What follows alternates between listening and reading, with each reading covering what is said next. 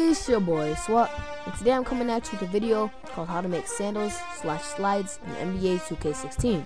So first you're gonna want to go down to features slash options, then you're gonna want to go down to 2K shoes, and then you're gonna want to pick 2K sports, then pick either low, mid, or high tops as your shoe.